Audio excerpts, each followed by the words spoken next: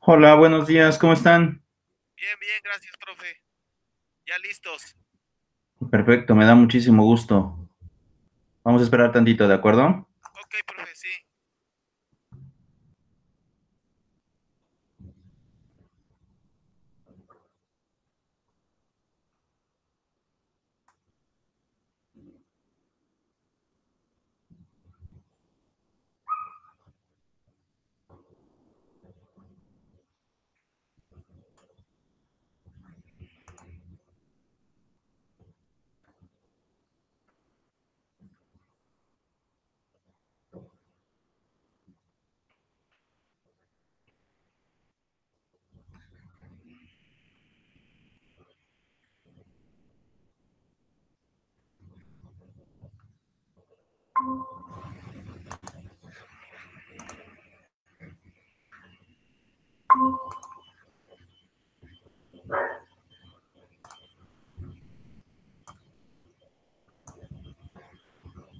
¿Listo, chicos? ¿Quién más ya se conectó? ¿Me pueden decir sus nombres? ¿Ya está Leslie? Ismael. Sí, aquí estamos. Oh, perfecto, bien. Me falta Liliana y me falta Ernesto, ¿cierto? Sí. Sí, profe. Ok. Bueno, chicos, eh, la semana pasada todavía no terminamos de ver el tema del capítulo de la demanda. Eh, sin embargo, eh, he de manifestarles algo. Eh, lo, que, lo que quiero en esta oportunidad es terminar el tema de la demanda y empezar con el tema de la contestación de demanda, para que ustedes obviamente sepan cómo, es que, cómo es que se tienen que desarrollar estos escritos. Sin embargo, he de decir algo. El, el, el capitulado más complejo, en realidad, dentro de la redacción de demanda, son eh, los hechos y el capítulo de pruebas. Entonces, eh, yo les he explicado la clase pasada que el capítulo de hechos tiene que hacerse de manera cronológica, tienes que enmarcar prácticamente desde dónde se crea la obligación, que en este momento, en el ejercicio de la demanda, vas a pedir el cumplimiento o el incumplimiento si fuera el caso, porque recuerden que les había explicado la clase pasada que tú en la acción puedes pedir cúmpleme la obligación o pido el incumplimiento, pero deshago de una vez el vínculo, eh, el vínculo de obligaciones que existe entre ambas partes. Eh, y ahí viene esta situación, cómo yo obligo, en este caso, o cómo compruebo, ya sea el cumplimiento o incumplimiento de la demandada, dentro de mi demanda es en el capítulo de pruebas. Entonces, el capítulo de pruebas es lo más complejo que podemos analizar porque existen muchas, y aparte de que existen muchas, existe una forma y un procedimiento específico para poder relacionarlo. Entonces, en esta situación, también la propia ley te exige formalismos en el momento de redactar la demanda que tú tienes que cumplir para poder llevar a cabo este, el ofrecimiento y para que el juez te pueda admitir. Básicamente, sobre eso vamos. Eh, y es lo que vamos a estar analizando el día, el día de hoy. Entonces, eh, en esta situación, la clase pasada estábamos realizando una demanda, ¿cierto? O sea, no solamente les expliqué el capitulado, sino también estábamos haciendo un ejemplo práctico, ¿cierto? Sí, así es, Lick. Buenos días. Perfecto. Bueno, este, entonces en ese sentido, eh, lo que vamos a, pues en realidad lo que vamos a tratar de hacer es eh, llevar a cabo el, cumplimiento de esa, de esa demanda eh, en este caso, pues obviamente para poder este, eh, complementar la, la, parte, de, este, la parte de, que nos sobró en el capítulo de demanda. Ahora, pónganle ahí donde ustedes están. Eh, yo les había dejado tarea el tema de los presupuestos procesales. que era básicamente los requisitos que en este momento o que de alguna manera este, la autoridad tiene que analizar en el momento en que tú llevas a cabo la redacción de demanda. Entonces, en este caso, lo que quiero hacer, aparte de explicarles, es cómo se va a llevar a cabo el procedimiento dentro, este, dentro de eh, un juicio para que ustedes se den una idea de en qué etapa procesal nos vamos a estar encontrando y para que ustedes obviamente vayan ubicando con exactitud en dónde nos vamos a encontrar. Ahora, algo importante, dentro de la materia procesal civil existen diferentes tipos de procedimientos. Entonces, por ejemplo, esto no lo, esto no, no viene como tal en el programa de la asignatura, pero, pero no, no es el mismo procedimiento eh, para todos los juicios. Podemos tener un procedimiento ordinario, puede existir un especial, puede existir un privilegiado, puede existir un oral sumarísimo. Hay cuatro tipos de procedimientos que se pueden estar llevando a cabo en, en la materia procesal civil. Sin embargo, he de decir algo. Eh, la mayoría de ellos tiene su base fundamental en el procedimiento ordinario. Ya en las demás, en realidad, siguen las mismas etapas. La única diferencia es que se van acotando dependiendo conforme se vaya elaborando el procedimiento, es como se van acotando, pero tienes las mismas etapas. Simplemente que en lugar de tener por etapas, que es el procedimiento ordinario, vas teniendo varias etapas, aquí las puedes tener en una sola audiencia. Por ejemplo, en el juicio oral sumarísimo tienes todo en una sola audiencia y todo se lleva a cabo de manera oral. Y en el procedimiento ordinario es diferente. Tienes las mismas etapas, pero lo vas haciendo por escrito y así es como se va realizando. Entonces, van cambiando los formalismos para poder llevar a cabo esta situación. Entonces, en ese sentido, este, lo que voy a hacer es proyectar y los quiero dibujar y pongan atención. Voy a hacer un diagrama de flujo para explicarles cómo es el procedimiento y después nos vamos al tema de los escritos para que tú te ubiques con exactitud en qué parte del procedimiento vas a estar actuando, ¿de acuerdo? Bien, sí. Entonces, déjenme proyectar, lo voy a elaborar así como todo lo hago, este, lo elaboro en vivo para que ustedes estén este, al, mismo, al mismo tono que yo. Entonces, ¿ya pueden ver el documento, chicos? Todavía no. Ahí. Todavía No, Ya, ya empezó, profe. ya empezó a cargar. Listo. Listo, a mí me parece que ya. Ya, ya está. Perfecto. Sí. Entonces, vea- vean lo primero que vamos a tener. Siempre todo va a iniciar con el, con el procedimiento de nuestra demanda, ¿de acuerdo? Después de la demanda, ¿qué es lo que viene? Viene lo que nosotros llamamos el autoadmisorio. Y este autoadmisorio lleva lo que ustedes se llevaron de tarea la sesión pasada. En este caso, son los presupuestos procesales. ¿Qué son los presupuestos procesales? En términos prácticos, es los requisitos mínimos que debes de satisfacer para poder interponer un juicio. Ahora, en este caso también hay, hay- algo importante. El autoadmisorio es cuando literalmente te pueden dar dos cosas. En el autoadmisorio o el auto de inicio, como también es conocido, también es conocido como auto de inicio, te pueden decir, el juzgado te puede decir, sí acepto la demanda, ¿no? Acepta demanda. O bien, también te puede decir desecha. Entonces, si, si admite la demanda, o sea, si la acepta, es porque cumpliste con los presupuestos procesales. Si te está desechando, entonces quiere decir, ahí lo vamos a poner en negro, si te está desechando en este caso, este, eh, la, la demanda, entonces quiere decir que no cumpliste con los presupuestos procesales.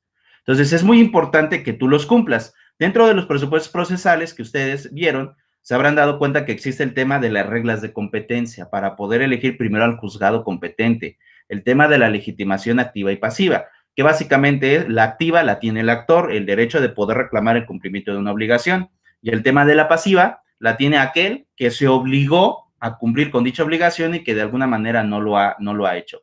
También tenemos, por otro lado, este, el tema de, este, el tema de, este, el tema del procedimiento, el tema de la personalidad, con cómo te acreditas. Recuerden algo importante, eh, también habla acerca de la personería y hay una diferencia importante entre estos dos. La personalidad es la facultad que tiene una persona de exigir el cumplimiento de una obligación, ¿de acuerdo? Y la personería es la que tenemos los abogados, la oportunidad de representar a aquel que va a exigir el cumplimiento de una obligación o aquel que se va a defender del cumplimiento de una obligación. Entonces, no se vayan a perder en estos dos conceptos. Personalidad es el actor y la personería somos nosotros. Dígame, Ernesto. Así es que como que es muy rápido. Disculpas, pero entonces la personalidad es la facultad que tiene la persona de poder este, eh, tener una personalidad jurídica. Más o menos en términos prácticos, sí, ¿de acuerdo? De poder interceder en un juicio exigiendo el cumplimiento de una obligación. Sí. ¿De acuerdo? Sí, gracias. Y la personería, pues ya la representación del abogado. Exactamente, la personería es la representación del abogado. Punto y se acabó. Oh. ¿De acuerdo? Gracias, Listo. Entonces, después de esto, ya si te aceptan, ¿no? Obviamente sí te aceptan, porque si te desechan, ahí tendrás que, puede, puede, puede pasar dos cosas, pero si te aceptan, ¿de acuerdo? ¿Qué es lo que viene? El propio autoadmisorio también va a pedirte o va a señalar lo primero. ¿Y qué es lo primero en cualquier procedimiento? La audiencia de conciliación. Pónganle ahí, ahorita en lo que creo que ya se trabó tantito mi compu.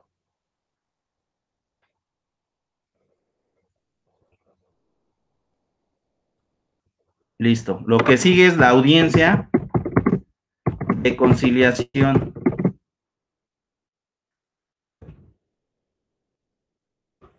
¿También se le llama de mediación? No. ¿No? Bien. La conciliación y la mediación son diferentes. Sí, mediación creo que es cuando están de acuerdo las dos partes, no hay problema. Y la mediación es cuando el facilitador, pues es el que interviene de alguna manera para llegar a una conclusión. ¿Estoy bien? No, no tampoco. Es que así, Me lo, así nos los dieron. ¿En serio? Sí. la mediación es cuando ellos se ponen de acuerdo, ya no hay problema. Y la, la este, eh, conciliación es cuando el facilitador interviene para que ya se dé solución. Así, haciendo, bueno, así lo tengo anotado. Es al revés, don Ernesto, creo. No, chicos. Este, no sé quién les haya dado eso, no me digan. No me digan. No, sin nombres, sin pero, nombres. Pero este, pero no. Eh, a ver, vamos a ver esta primera parte. El tema, de los, el tema de los medios alternativos de solución al conflicto viene por una obligación de la reforma de 2008 al artículo 17 constitucional. Dentro de los medios alternativos de solución al conflicto, mejor conocidos por sus siglas más, existen varios y dependen dependiendo de cada materia. Es decir, por ejemplo, los, los medios alternativos en materia penal no son los mismos que en la materia civil. Los medios alternativos en la materia agraria no son los mismos que en la materia civil. Los medios alternativos, por ejemplo, de, las, de, de, seguridad social incluso, no son los mismos que las de la materia civil. Es decir, podemos encontrar algunos de manera común, pero dependiendo de la materia pueden existir diferencias. Ahora, dentro de los comunes podemos encontrar a cuatro, normalmente cuatro, pero existen más. Por ejemplo, en materia penal existen más. ¿De acuerdo? Entonces, Normalmente, digamos que en todos los procedimientos podemos encontrar cuatro. La conciliación, la mediación, la negociación y el arbitraje. El arbitraje, por ejemplo, es el forzoso que se va a pedir en algunos casos, por ejemplo, en materia mercantil y, por ejemplo, en materia laboral, si es que las partes se obligaron a él. Dos, el tema de la negociación. Normalmente las negociaciones se ocupan mucho en derecho internacional. Por eso es que incluso ustedes vieron en las noticias que cuando estaba el dime y direte entre Trump y Andrés Manuel o entre Trump y Peña, cuando estaban negociando el Peña, el, el TIMEC, ¿qué era lo que pasaba? Estaban negociando. La negociación también es otro medio alternativo antes de ir al conflicto, antes de ir al litigio. Y después tenemos los dos más comunes, la mediación y por otra parte la conciliación. ¿En qué consiste la mediación? La mediación es cuando, en esta parte que tú me dijiste, Ernesto, en efecto, las dos partes llegan a un acuerdo pero se les olvida, o quien les dio la definición se le olvidó, que existe la intervención de un tercero, existe la intervención de un tercero, que se le conoce como facilitador, ¿de acuerdo? O mediador, cualquiera de las dos, ¿de acuerdo? Ahora, ¿cuál es la función de este mediador o de este tercero? Provocar que las partes de manera o de sentido común hablen, platiquen y entre ellas mismas lleguen a una solución o se propongan soluciones. En eso consiste la mediación. Ahora, la conciliación. En la conciliación también existe la intervención de un tercero. La diferencia es que en la conciliación, este tercero te va a proponer, les va a proponer a las partes una posible solución. Ahora, el hecho de que el conciliador te proponga la posible solución no quiere decir que las partes tienen que someterse a esa, a esa propuesta, no. Si a ellas, a las partes, no les parece, pueden llegar a su propio acuerdo. O bien, pueden tomar como base la propuesta del conciliador y sobre eso ir modificando algunas cosas para poder solucionar el conflicto. Entonces, esa es la gran diferencia entre la mediación y la conciliación. En las dos va a existir un tercero. La diferencia es que en la conciliación te va a proponer la solución y en la mediación no va a existir esto. Ahora, también otro dato importante.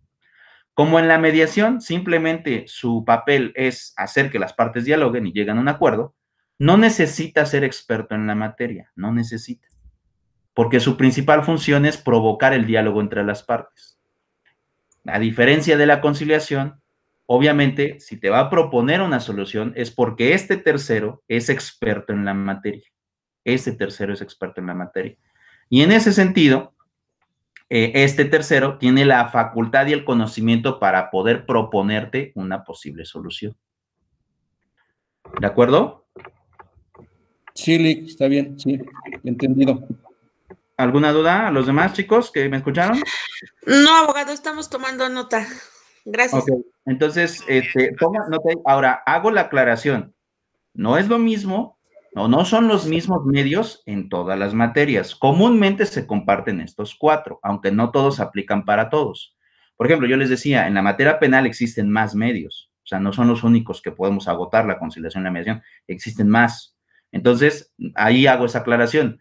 Dependiendo de la materia, ustedes tienen que ir a ver en los procedimientos cuáles son los que te va a proponer la propia ley. ¿De acuerdo? Ahora, en algunos casos, por ejemplo, este, no están los medios alternativos, ¿de acuerdo? Se pueden hacer valer en juicio, pero el propio procedimiento no te lo prevé.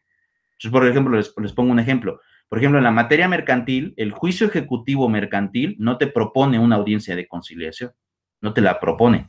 Pueden llegar a una conciliación si en el juicio ambas partes lo promueven o una de las partes lo promueve pero el propio procedimiento en la ley del juicio ejecutivo este, no te lo propone, no te lo pone. Entonces, también ahí ustedes tienen que ver que a pesar de que la obligación está por parte de la Constitución en el 17, en algunas materias, algunos tipos de procedimiento no te prevén el tema de los medios. Es simplemente a voluntad de las partes que lo soliciten. Porque, por ejemplo, en el juicio ejecutivo no existe esto, no existe. Entonces, ahí, al contrario, incluso, por ejemplo, en el juicio ejecutivo mercantil, primero embargas y después emplazas. Ahí viene la diferencia, ¿no? O sea, primero te digo que te quito y ya después te doy copia de la demanda para que me contestes después. Entonces, de molestia. Entonces, ahí es cuando ustedes tienen que estar viendo esta situación y es legal. El embargo antes de que te entreguen la copia de la demanda es legal porque el procedimiento así te lo prevé. Entonces, sería un acto de molestia, ¿verdad? Ir mediando. Mande, Lázaro. Perdón, sería un acto de molestia. No es un acto de molestia porque como tal, este, eh, bueno, sí sería un acto de molestia siempre y cuando no se cumpla el procedimiento de embargo, porque también ahí vamos a las formalidades del embargo. Pero si se cumplen las formalidades del embargo, entonces sí es un acto de molestia, pero si lo quieres impugnar no te lo van a destrabar porque el propio procedimiento así lo faculta. Ah, Bien. Entonces, ahí, por ejemplo, en materia mercantil existen también cuatro tipos de procedimientos. Está el juicio ordinario, el juicio ejecutivo mercantil, el juicio oral mercantil y el juicio ejecutivo oral mercantil, cuatro tipos de procedimientos. En la materia civil yo les decía, está el ordinario, está el privilegiado, está el especial, está el oral sumarísimo, o sea, hay cuatro tipos de procedimientos también. Si me voy a, por ejemplo, a la materia agraria, ahí simplemente es un tipo de procedimiento, nada más. Las acciones cambian en materia agraria, pero es un solo procedimiento. En materia penal, ustedes sabrán que también solo es un solo procedimiento que te lo, te lo establece el, código, este, el Código Procesal Penal, que por cierto, y dicho sea de paso, ya hay una propuesta para poder cambiarlo, ¿eh? O sea, ya también hay una propuesta de que el actual procedimiento tiene deficiencias y ya hay una propuesta en el, en el, en, en el, este, en, en, el Congreso para poder, este, para poder modificarlo. Y están proponiendo cambiar el código completo. Entonces, aguas, ¿eh? porque si cambian todo el código, nos van a poner a obligar a estudiar a todos otra vez. Entonces, por ejemplo, en la materia fiscal también hay diferentes tipos de procedimiento. Está, por ejemplo, el procedimiento administrativo, está el contencioso administrativo y ya después te vas al tribunal fiscal para poder, en este caso, también vía procedimiento ordinario. O sea, existen diferentes tipos de procedimientos en diferentes materias. Entonces, no siempre vas a ocupar el mismo. Todos tienen su base en su procedimiento ordinario, pero ya conforme va cambiando algunas partes del procedimiento te las quitan y otras se concentran en las audiencias. Entonces, en una audiencia, por ejemplo, en el procedimiento privilegiado, ahí desahogas todo, ¿no? Ahí haces excepciones, haces desahogas, admiten, desahoga pruebas, alegas y ya esperas la sentencia. Todo en una sola audiencia. Entonces, ahí cambia, va cambiando dependiendo cómo vayas ejecutando el procedimiento. ¿De acuerdo? Sí. Entonces, en este caso, bueno, eh, ahí ustedes si les dieran esas Gracias, profe. Eh, simplemente complementenlas, ¿de acuerdo? Pero hagan la aclaración. No en todas las materias son los mismos y en algunos existen más medios, ¿de acuerdo? ¿Hecho? Sí, Listo. Entonces continúo, continúo con estas. De acuerdo. Vuelvo a, vuelvo a repetir lo que estoy diciendo. Este es un procedimiento ordinario civil, ordinario civil, ¿de acuerdo? Y ya los demás se van a ir modificando, pero eh, al final de cuentas la base fundamental es esta. Van a cambiar en algunas cosas, algunas partes se quitan, otras partes este, se incorporan y otras se juntan, pero básicamente este es el procedimiento, digamos que el esquema general de todos los juicios, ¿de acuerdo?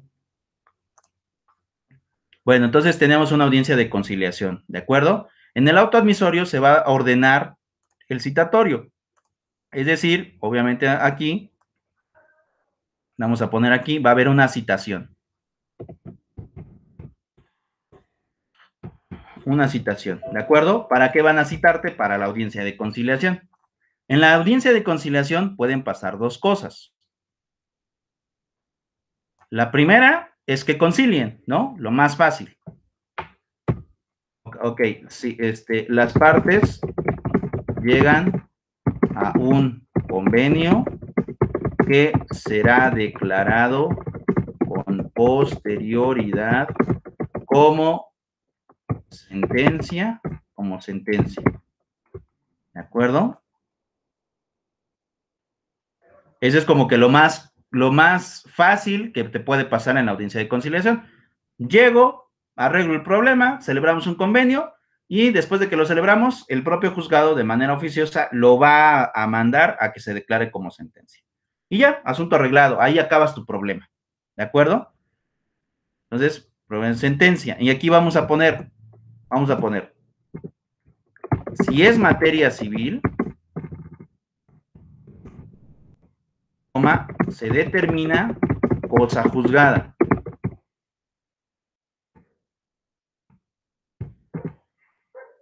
Si es familiar, porque recuerden que la materia familiar también tiene su procedimiento en base al código procesal. Este, si es familiar, coma, este, simplemente se declara sentencia, pero no se califica de cosa juzgada, pues la, todas las cuestiones familiares pueden modificarse con posterioridad. Entonces, eso es algo importante, chicos. Solamente aplica para la materia, la materia civil, de acuerdo al que se decrete como cosa juzgada.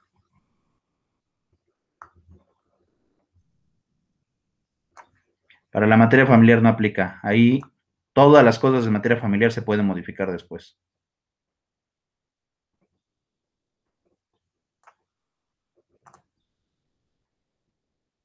¿De acuerdo?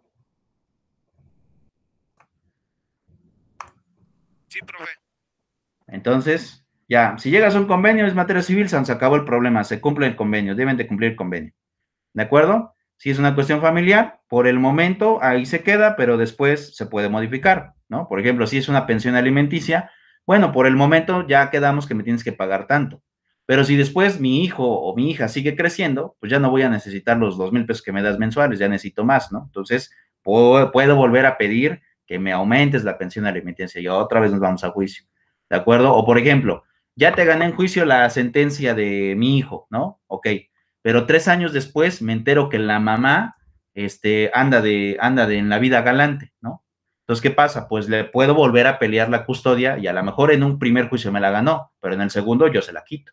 Entonces, por eso es que les decía, o, los pongo en el texto, en materia familiar simplemente se pone sentencia, pero ahí nunca son cosa juzgada, porque conforme van avanzando en el tiempo, se pueden ir modificando también. ¿A, través de, ¿A través de incidentes? Eh, no, a través de juicios independientes. Ah, ya. ¿De acuerdo? Eh, eh, a través de juicios independientes, este, siempre y cuando el código lo prevea, porque aquí hay algo importante. Y ahorita qué bueno que me hiciste la aclaración, Ernesto.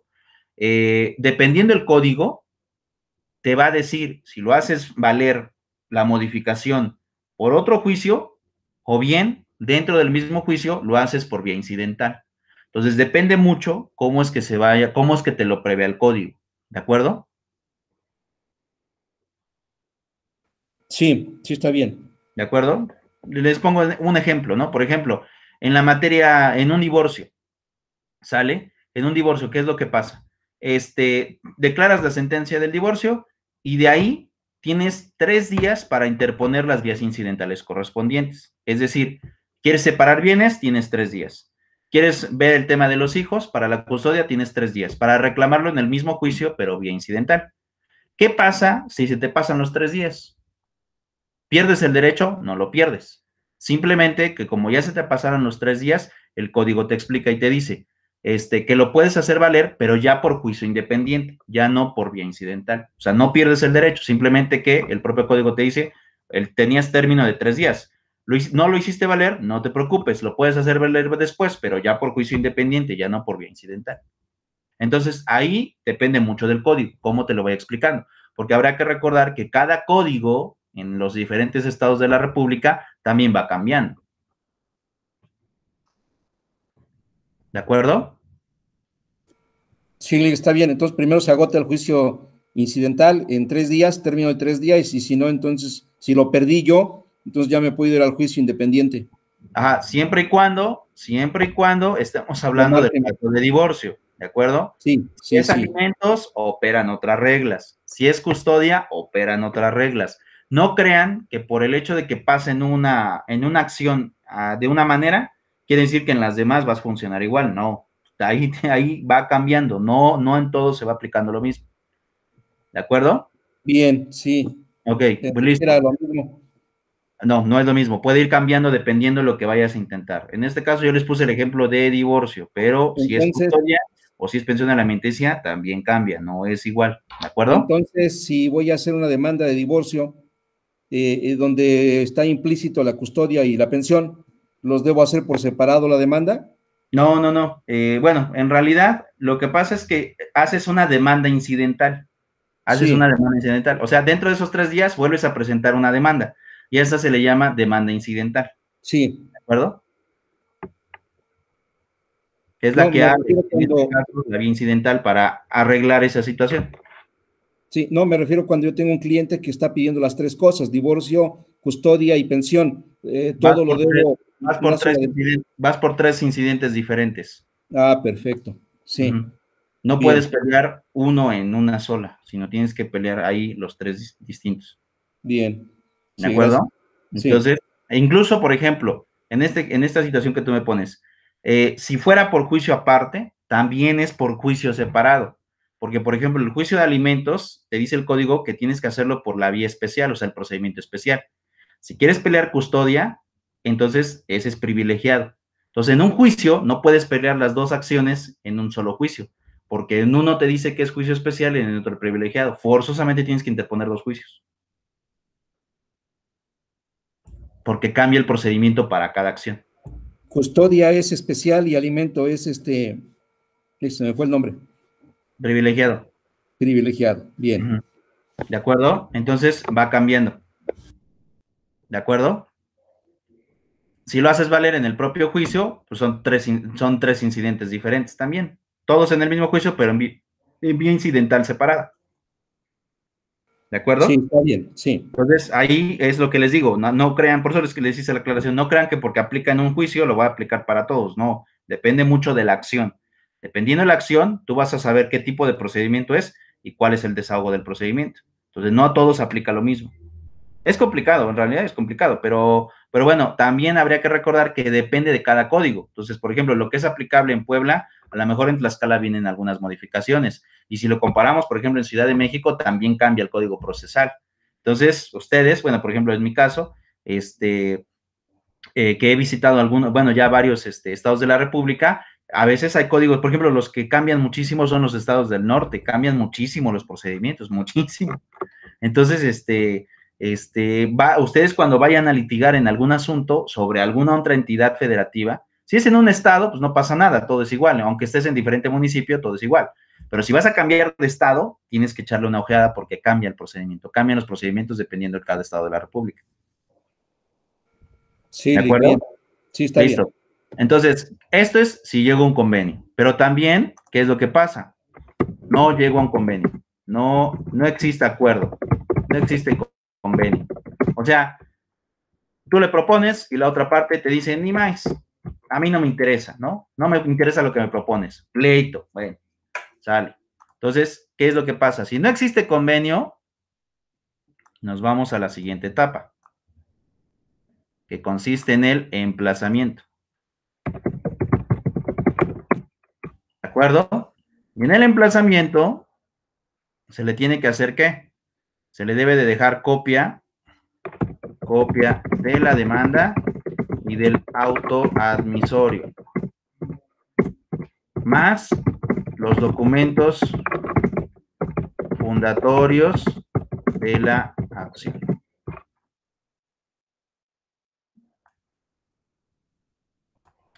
Copia de la demanda, del auto admisorio, o sea, de este, más los documentos fundatorios de la acción que fundan la demanda, ¿de acuerdo?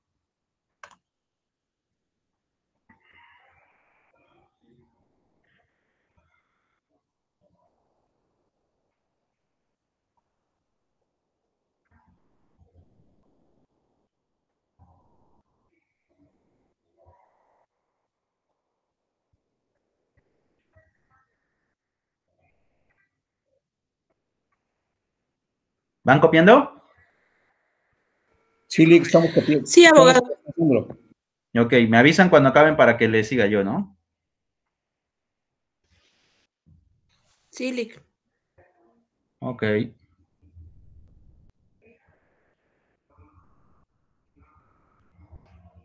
Listo. Ok. Ahora, ¿qué es lo que pasa?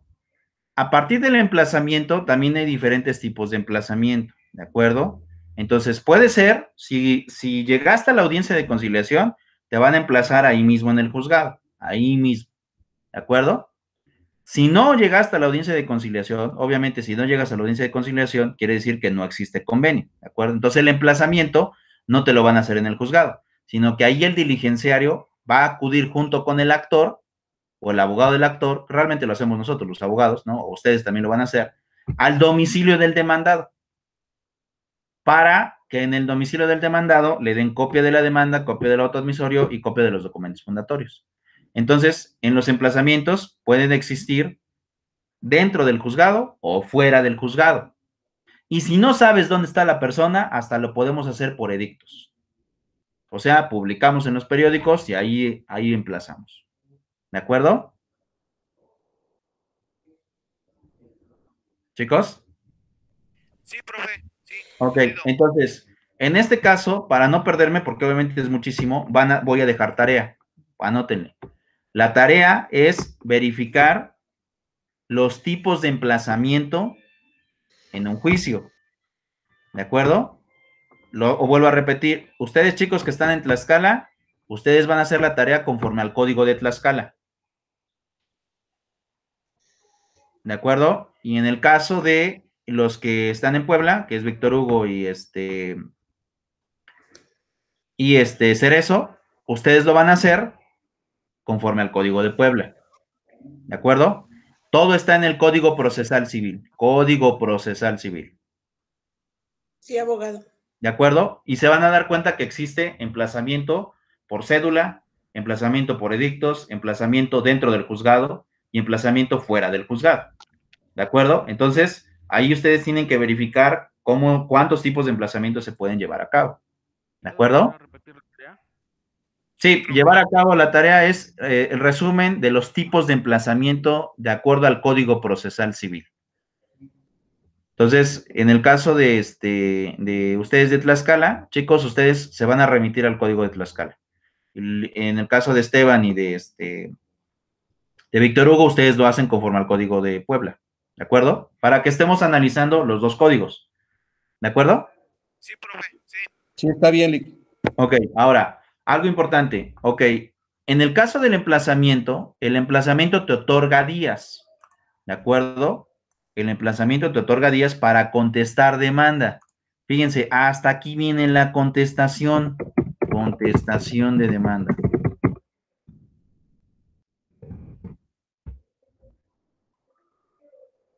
¿De acuerdo? Contestación de demanda. Ahora, hay algo importante. Como hace un momento les mencioné que existen diferentes tipos de procedimientos, no todos son ordinarios, cambia el término para contestar demanda. Por ejemplo, en este juicio que estoy desarrollando, para contestar demanda tienes 12 días, 12. Pero si este fuera un juicio privilegiado, por ejemplo, una guardia y custodia, nada más tienes 3 para poder contestar demanda. Entonces, pónganle contestación de demanda y aquí le vamos a hacer una aclaración, ¿de acuerdo? Vamos a hacer una aclaración, ¿de acuerdo? El término para contestar depende del tipo de procedimiento.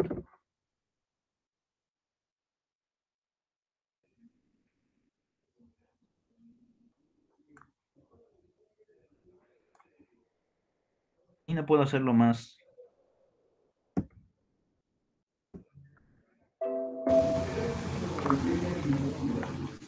Ahí está. El término para contestar depende del tipo de procedimiento. Entonces, ahí si quieren anoten este, este adelante.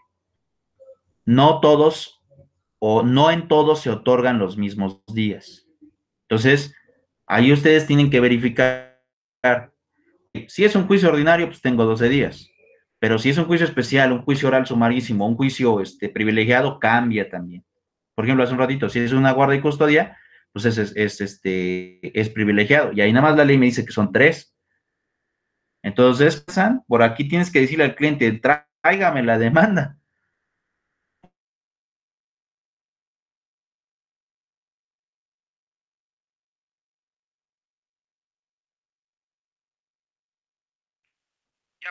Listo.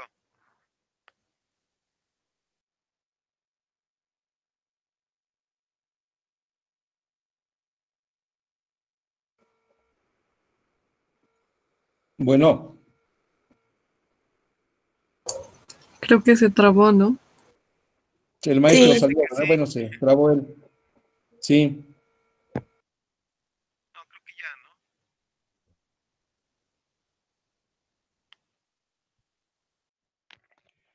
¿Sí? Creo que se trabó, ¿verdad? Sí, profe. Entonces, ahí ustedes pendientes. Es más, este, chequenlo cuando vayan a su código, se van a dar cuenta que hay diferentes tipos de procedimientos. Y ahí Dejamos de escucharlo como un minuto. ¿Ya me escuchan aquí? Sí, ya, ya apenas. Ya, profe, ya. Ok, bueno, entonces les decía, ustedes también si quieren llévense esa tarea, aparte de ver los tipos de emplazamiento, vayan al tema de las contestaciones. Vean cuántos tipos de procedimiento existen en sus códigos, ¿de acuerdo? Por ejemplo, eh, yo ahorita dije los de Puebla, vayan ustedes a los de Tlaxcala, también hay ordinario, también hay especial, todo eso, y verifiquen, ¿de acuerdo? verifiquen cuánto es el término que te da la, este, la ley para poder contestar demanda. Entonces pongan ahí procedimiento tal, procedimiento tal, tantos días. ¿De acuerdo? Para que vayan ustedes viendo que no en todos se aplica la misma regla. Contestar. ¿De acuerdo? Sí, profe. Chile. Hecho. Entonces ya llevan dos, ya llevan dos tareas, ¿eh? Verificar en los diferentes tipos de procedimientos cuál es el término a contestar y verificar cuántos tipos de emplazamiento pueden existir. Ok, después, ¿qué viene? Viene la contestación de demanda. Ok, ya contestas demanda, ¿de acuerdo? Listo. Después de la contestación que viene, siempre que contestas, viene esta parte. Ahora, eso es algo importante. Y esto quiero decirlos. Después de que tú recibes la contestación de demanda, el actor puede hacer valer lo que nosotros llamamos el desahogo de vista. O muchos abogados también le llaman contestación de vista. ¿De acuerdo? Tiene dos nombres. Al final de cuentas se refieren a lo mismo. ¿De acuerdo? ¿Y en qué consiste esto? Por aquí tú sabes que ya la demandada te contestó, entonces tú vas a tener la oportunidad de contestar, valga la redundancia, esa contestación. ¿De acuerdo? Chicos, ahora algo importante y algo que se me olvidó en esta parte. En esta situación del emplazamiento puedes contestar demanda, pero también en el mismo escrito de contestación de demanda, vamos a poner aquí uno para que no nos perdamos. Eso puede ser el uno punto y guion. Puedes contestar demanda, pero también puedes dos punto y guion en, el, en la misma contestación, puedes hacer lo que nosotros llamamos reconvención.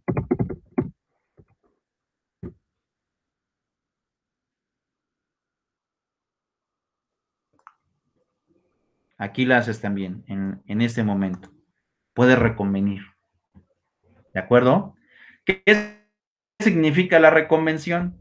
Básicamente es que el demandado le pelea una acción al actor.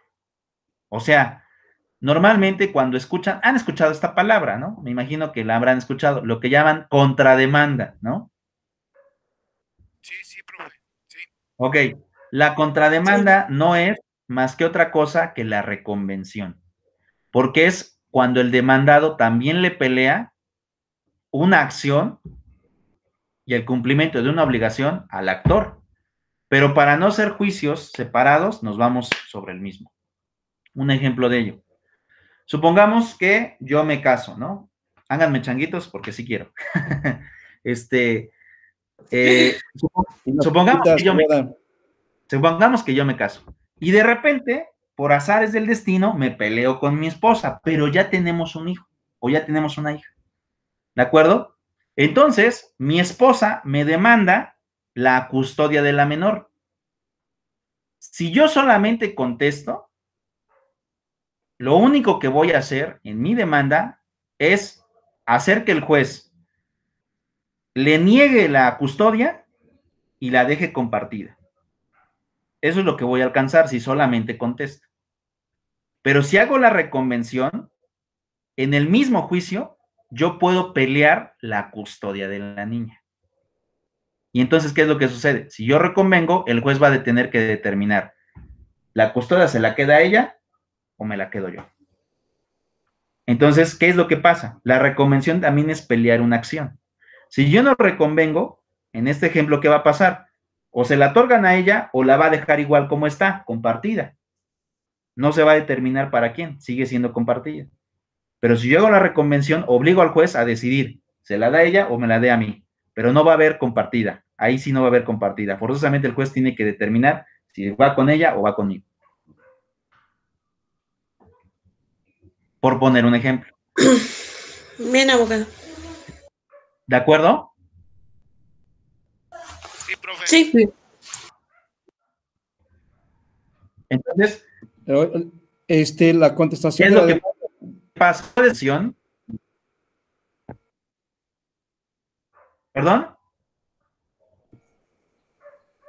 No, no, está bien. Bueno, no te escuché, Ernesto. La reconvención es pelear aquello que yo deseo, la acción que yo deseo. ¿Está bien? Exacto. En este caso, el demandado en la demanda el demandado le pelea al actor. Sí, ¿De acuerdo?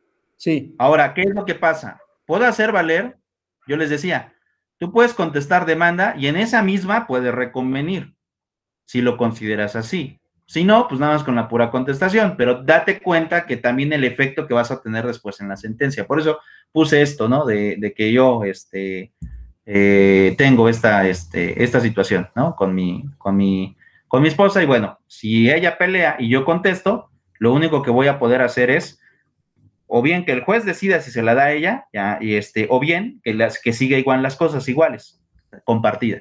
Pero si yo reconvengo, ahí ya no, ya no va a haber compartida. El juez va a tener que determinar si se la queda ella o me la quedo yo. Punto.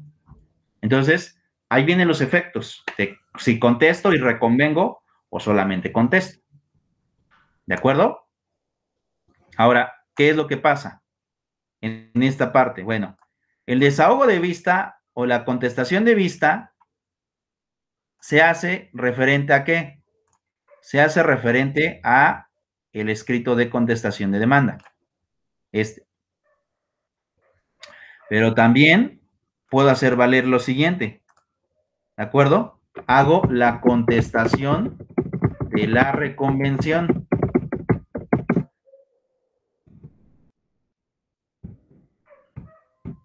¿De acuerdo? ¿Y qué es lo que pasa? Entonces la contestación de la reconvención es sobre el punto 2. Ahora, algo importante. Tanto la contestación de demanda como la reconvención las puedo hacer valer en un mismo escrito. Igual lo mismo, el desahogo de vista y la contestación de la reconvención la puedo hacer en un mismo escrito. ¿De acuerdo?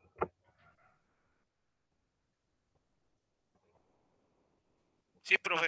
Ahora, algo importante. Eso dice el código, que lo puedo hacer valer en el mismo escrito. Eso dice el código que se puedan hacer valer las dos cosas en el mismo escrito. Pero he de ser sincero, aquí viene la práctica, ¿no? Lo que yo hago. Lo que yo hago, en realidad, es lo siguiente. Eh, llevo a cabo, este, eh, bueno, hago dos cosas principalmente. ¿Qué es lo que sucede? Primero hago la contestación de demanda y a la mitad de la hoja, bien, aquí voy a dar un citatorio, pues está sellado. Este, supongamos, este, supongamos que este es mi escrito, ¿de acuerdo?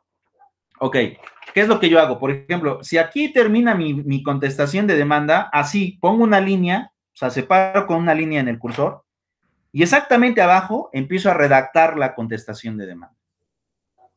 Digo, la, la contestación de la reconvención.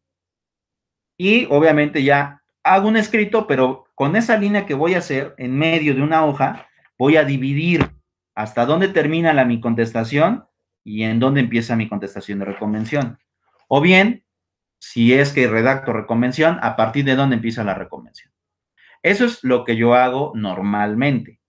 Por ejemplo, a mi hermano no le gusta mucho hacer eso. Mi hermano lo que hace es, hace un escrito de contestación y te hace otro escrito de reconvención. Y todo te lo mete en, en el mismo día, ¿no? O sea, en el mismo día te promuevo los dos escritos. A mi hermano le gusta así. A mí no me gusta así. A mí lo que me gusta es simplemente dividir la hoja y aquí termino mi contestación y, enseguida divido y luego redacto la reconvención. Entonces, ahora sí, como dirían, como en esto no hay una regla en cómo redactarlo, ya depende de cada uno de ustedes cómo quiera hacerlo. Lo importante es que lo hagas en el mismo día porque obviamente te corren los términos y para que no te precluyan las cosas. Todo lo tienes que hacer el mismo día. Entonces, por ejemplo, yo les digo estas dos, a mi hermano le gusta hacerlo así, a mí no me agrada, a mí me gusta, eh, hago un solo escrito, pero obviamente en una hoja va a venir una división en donde se va a determinar dónde termina la, la, este, la, contestación y en dónde empieza la reconvención. O si soy demandado, eh, este, o si soy actor, perdón, en donde desahogo vista y en donde te contesto la reconvención.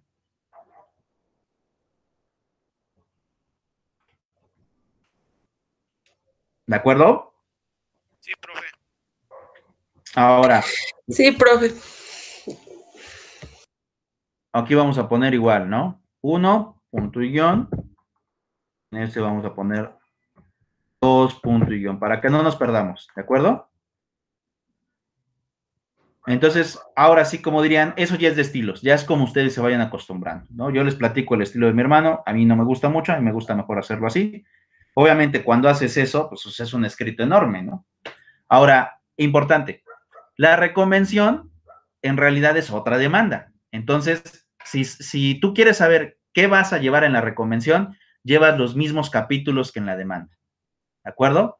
Proemio, este, ¿cómo se llama? Este, proemio, este, también este, prestaciones, hechos, derecho, pruebas y peticiones. Y las firmas al final. Entonces, ahí pongan en su mapa, reconvención, lo mismo, los mismos capítulos que en la demanda.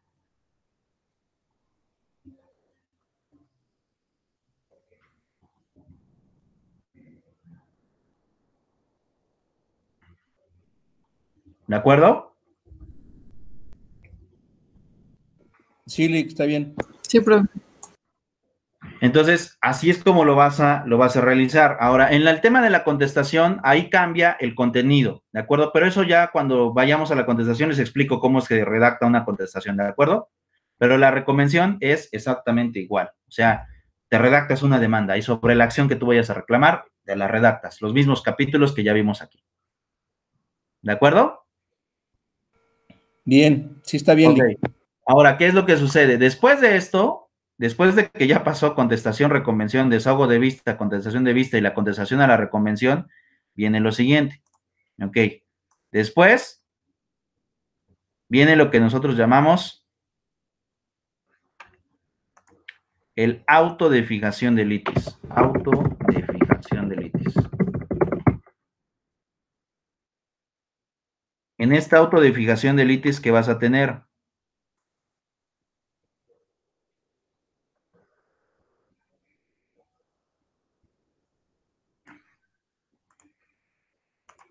Autodefijación de litis. Entonces, en este, el juez determina qué va este, lo vamos a poner El juez determina en qué consiste la controversia. ¿De acuerdo? Coma, además, admite y diagonal o desecha pruebas. Aquí en esta autodefijación de litis. Entonces, ¿qué es lo que sucede? En este tienes que estar muy pendiente. ¿Por qué? Porque aquí el juez te puede sacar una jalada y decirte, ¿sabes qué? Esta prueba que me hiciste valer en tu reconvención, no te la acepto, ¿no? O esta prueba que me hiciste valer en tu desahogo de vista o en tu contestación o, o en tu contestación de demanda o en tu contestación a la reconvención, esta no te la acepto. Entonces, aguas ahí, ahí hay que tener mucho cuidado. ¿Por qué? Porque si el juez te tira una prueba y no te la admite, porque pasa, también pasa, ahí te corren los términos de los recursos para inconformarte sobre este auto. Y para los recursos pueden existir varios.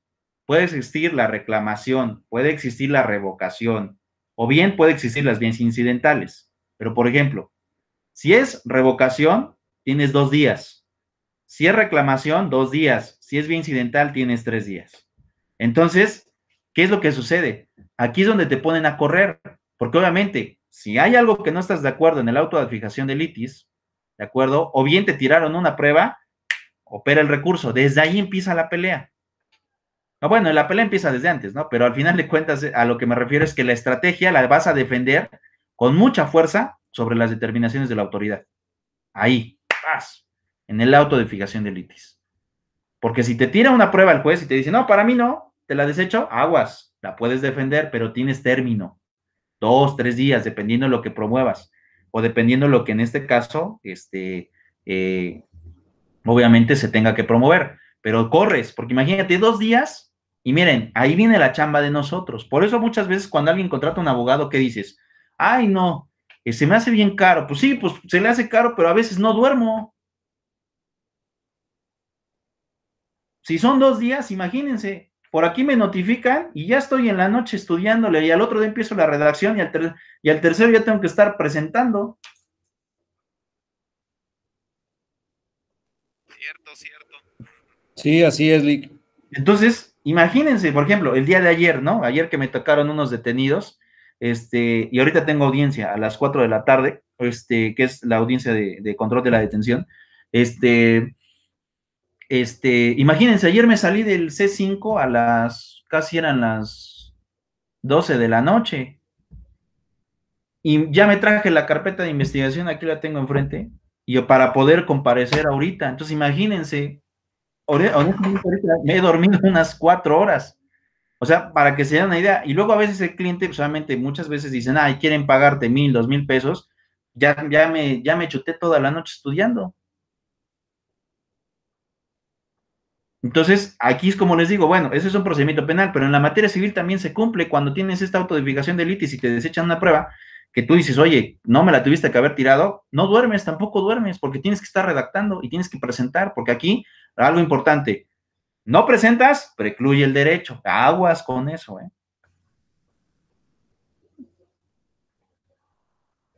Y algo importante, ¿se acuerdan lo que vimos en la materia de amparo? En la materia de amparo te dice definitividad. Entonces, a lo mejor si el juez violó algo y tú no lo impugnaste, cuando lo quieras hacer valer en el amparo directo, te va a decir el juez, no puedo entrar al estudio de esa violación. Porque a pesar de que es evidente que sí se te violaron tus derechos, tú estabas obligado de agotar la definitividad y como no la agotaste, no puedo entrar a subsanarte ese error. Entonces, ¿qué pasa? Preparas también el juicio. Entonces tienes que estar pendiente de todo. Porque si no lo haces valer en el momento que lo tenías que hacer valer, aunque lo pierdas, no importa, pero lo tuviste que haber hecho valer, cuando llegues al amparo no te lo van a poder aceptar. Entonces, es donde empiezas a preparar los juicios para las impugnaciones posteriores. Todo impugnenlo, todo. ¿De acuerdo? Sí, abogado, gracias. Sí, profe, ¿Preguntas, chicos?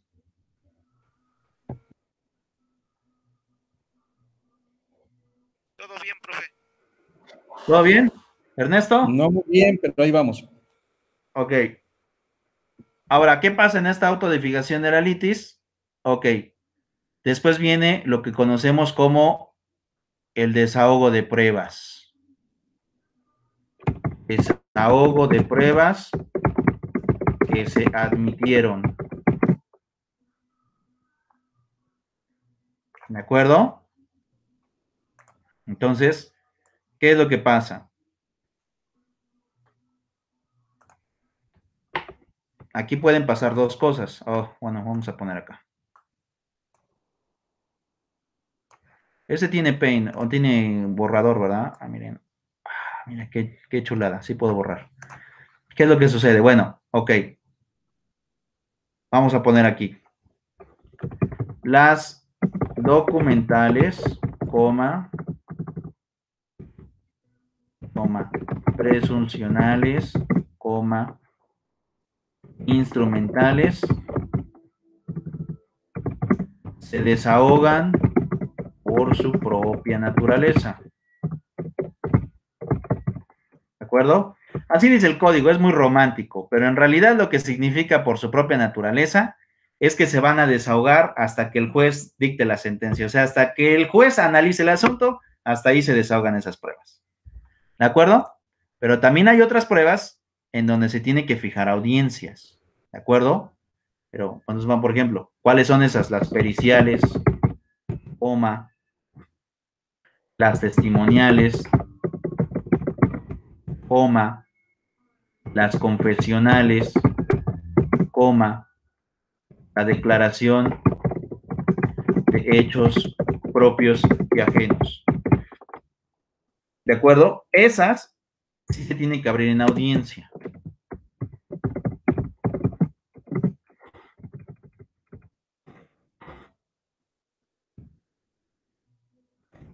Ahí sí tiene que haber audiencia.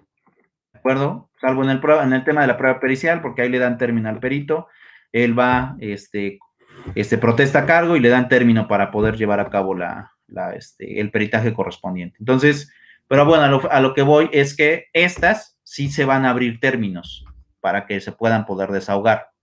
Las otras, no se preocupen, las van a tomar en cuenta hasta que vayan hasta la sentencia. Pero estas, las periciales, testimoniales, confesionales, declaraciones de propios ajenos, este, esas no. ¿De acuerdo? Esas no. Esas sí tiene que haber audiencia. Son testimoniales, pues hay que comparecerlos o mandarlos a comparecer, son confesionales, también hay que mandarle citatorio. Si es una prueba pericial, tiene que ir el perito al juzgado. O sea, hay un especial procedimiento para esas. ¿De acuerdo? Sí, sí, está bien. Ok, entonces. Sí, está bien. Después de esto, ¿qué viene? Después del desahogo, sale, viene algo importante. Muy importante, diría yo. Ah, ya no puedo este, seguir. Ya llegué al final del documento. Nada más confírmenme si ya copiaron todo para que pueda yo, en este caso, este, eh, borrarlo. ¿O quieren sí, que... Sí, ya, parte ya está. ¿Ya? Ya, abogado, todo listo. Entonces ya lo vamos a borrar, ¿de acuerdo? Este, nuevo. No guardar, listo.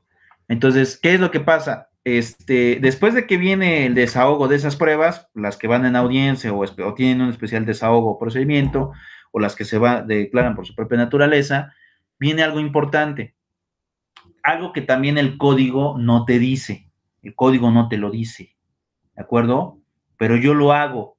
Lo hago valer porque también recuerden lo siguiente. En el Código Procesal de tu Estado de la República opera en suplencia el Código Federal de Procedimientos Civiles, Código Federal. Y también te dice el Código Federal y el Código Estatal. Bueno, acá en Puebla sí te lo dice. En Tlaxcala creo que no, pero hago la remisión siempre al federal. Lo no previsto, o sea, lo que tú quieras promover y que no esté regulado en el código, pero que tampoco sea ilegal, lo puedes hacer valer. Pero ahí te aplica el término genérico, es decir, tres días. Tienes tres días para poder hacer valer lo que a tu derecho convenga. Ahora, ¿qué es lo que yo hago cuando llevo a cabo este tipo de, este tipo de cosas? Por ejemplo, si es una prueba pericial, si es una prueba testimonial, si es una prueba confesional o declaración de hechos propios ajenos, hago valer mediante escrito tres días posteriores al desahogo lo que en teoría estuvo mal por parte de, de mi contraria para que me favorezca a mí. Y a eso le vamos a llamar objeciones. Objeciones. Objeciones de pruebas. ¿De acuerdo? Ahora, algo importante, y seguramente porque va a pasar, ¿no? Eh, tú como abogado objetas pruebas en la contestación de demanda. Y muchos de los abogados que yo he visto a veces litigantes, este, piensan erróneamente que solamente en la contestación de demanda tú puedes objetar pruebas. Falso. Falso. Por aquí me desahogas y tres días después de la audiencia que corresponda al desahogo, yo también puedo seguir objetando pruebas. Pero la objeción de pruebas ya no va a ser sobre el cómo las ofrecieron, sino mi objeción va a hacer referencia al desahogo de la prueba. Al desahogo.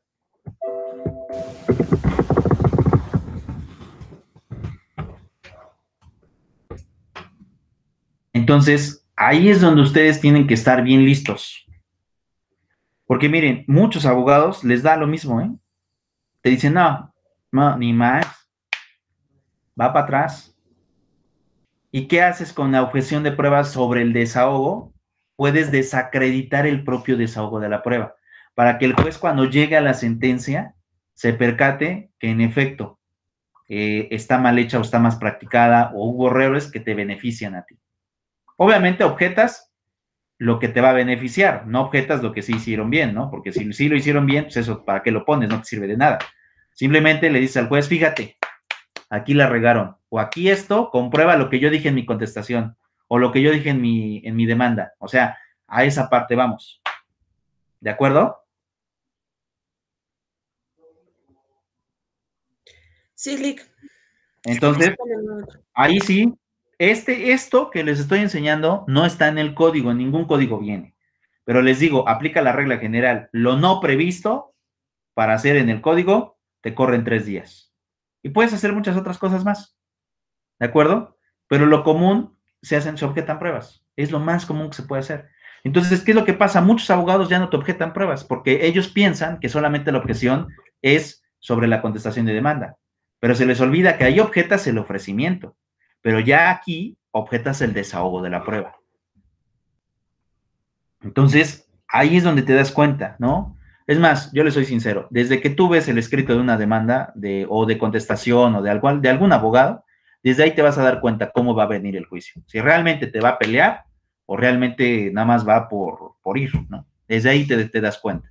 Obviamente, como les digo, hay abogados que promueven y honestamente dan risa los escritos que dan, pero hay otros que honestamente también te ponen a correr, porque obviamente, ¿qué pasa? Pues así como tú estudias, también hay otros que también están estudiando.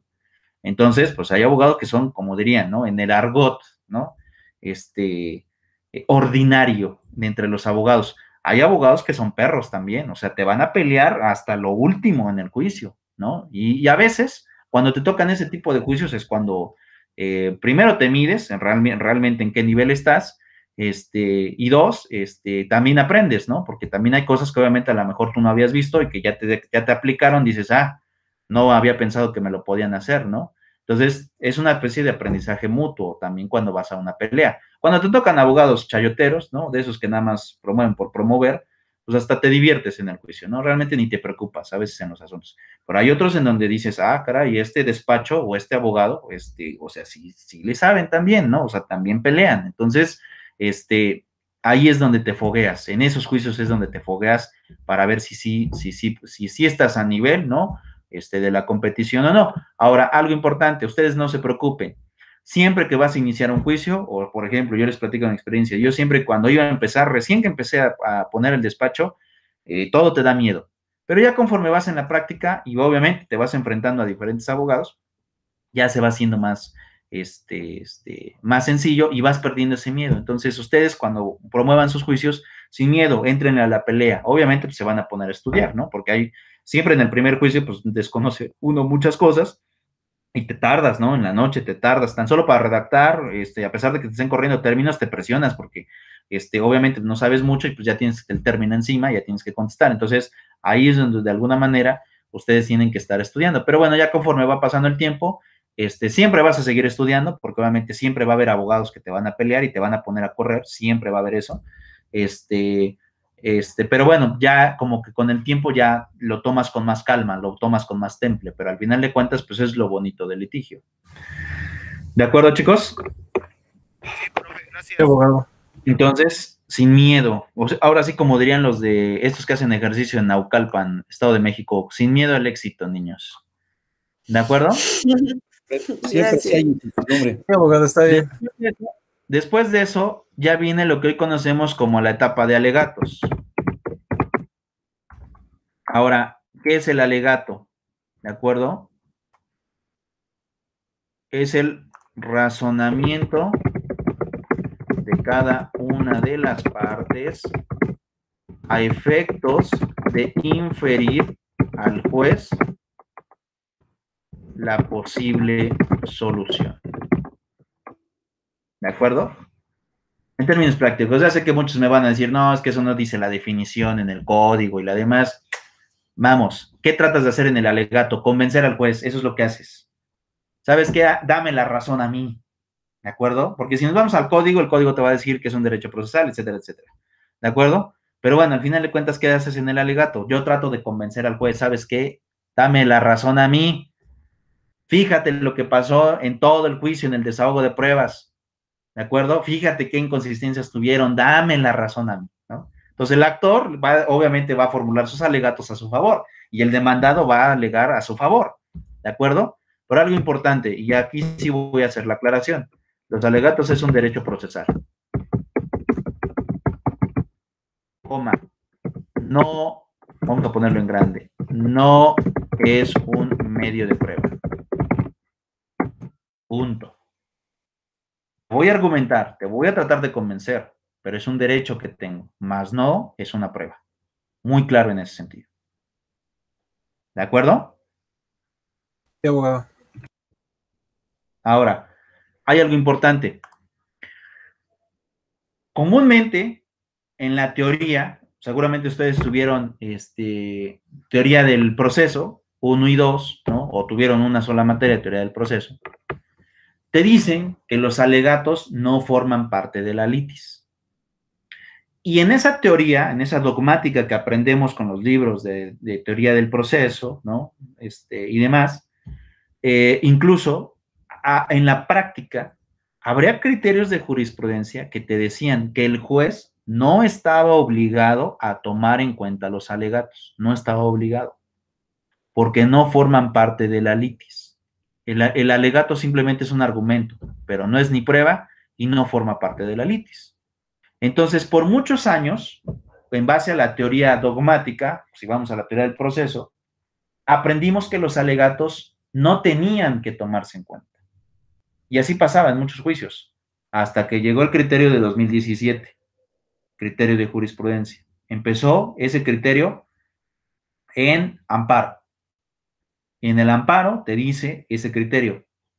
La teoría dice que no se deben de tomar en cuenta.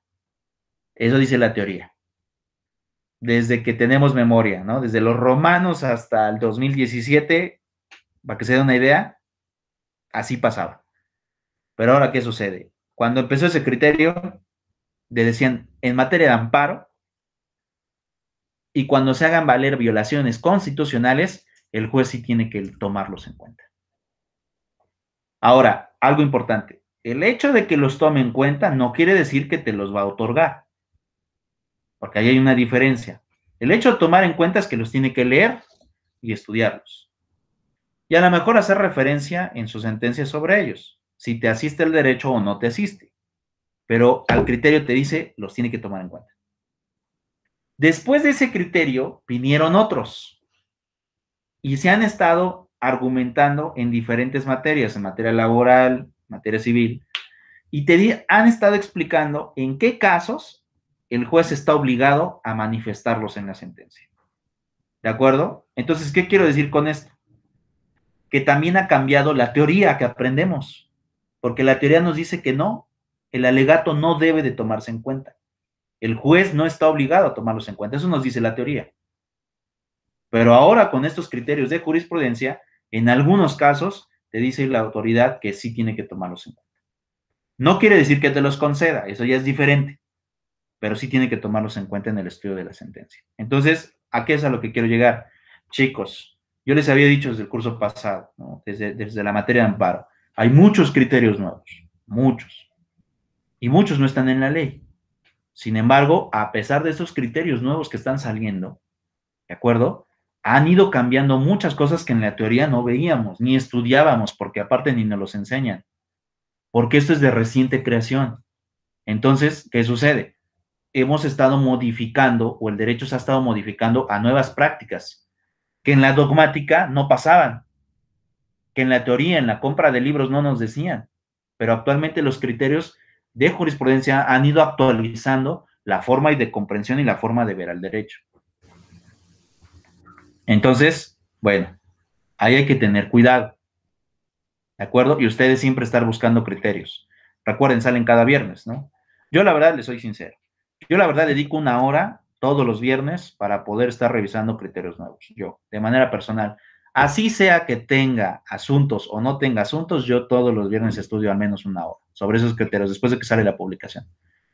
Para poder estar viendo cómo viene lo nuevo, porque vienen nuevos en muchas cosas. Y entonces ahí es donde tú te vas actualizando. Ah, a lo mejor el código dice que no se puede, pero por ahí hay algún abogado, porque los criterios de jurisprudencia salen de los juicios. Obviamente habrá algún abogado que se le ocurrió, fue creativo y lo promovió y lo ganó y logró crear un criterio de jurisprudencia. Entonces, ¿qué es lo que pasa? Vienen actualizaciones de cómo es que este, se están tomando las cosas en cuenta ahora. Entonces hay que tener mucho cuidado también en cómo afundas a veces los alegatos también para decir si aplica, si, toman, si me los tienes que tomar en cuenta. O bien, pues cuando ya sabes que no aplica una de las reglas que están viniendo en criterios de jurisprudencia, pues muchas veces ya ni los promueves, ¿no? Ya dices, ya, ya me voy sin alegatos, ya nomás con el puro material probatorio. Pero al final de cuentas tienes que estarte dando cuenta en qué momento sí y en qué momento no, o bien en todos los momentos, pero también cuando van a tener una repercusión y cuando no. ¿De acuerdo?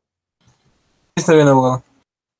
Entonces, después de eso, después de los alegatos, pues ya viene lo más hermoso, la sentencia.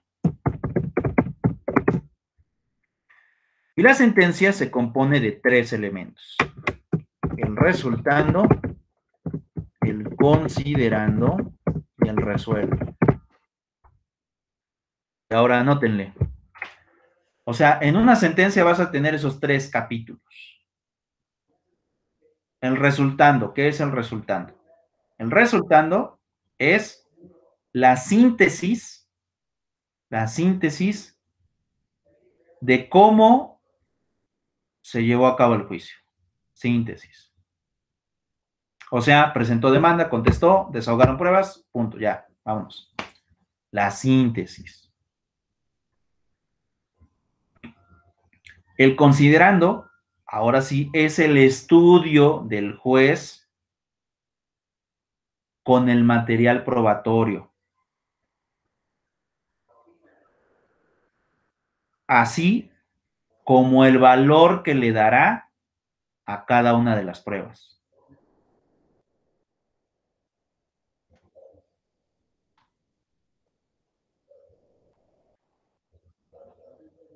Entonces, considerando en realidad es el estudio del juez, ahí tú te vas a dar cuenta cómo lo va tomando, cómo es que va diciendo, ah, tú dices esto en tu demanda, pero me presentaste esa prueba. Sin embargo, a mí como juez a lo mejor me da plena convicción o no me da plena convicción, a pesar de que sea prueba. Entonces, por ahí todo te lo va a decir en el considerando. Y él resuelve es la decisión del juez en otorgar las prestaciones o las excepciones del demandado. ¿De acuerdo? Ahí ya, en el resuelve ya te dice, gana el demandado, o sea, se absuelve al demandado porque hizo valer sus excepciones, o gana el actor porque hizo valer sus prestaciones. Eso ya te lo dice en el resuelve. Pero el estudio, si tú quieres ver la comprensión del juez, está en el considerando. Ahí es donde te das cuenta. Y ya en base al considerando toma la decisión en el resuelve.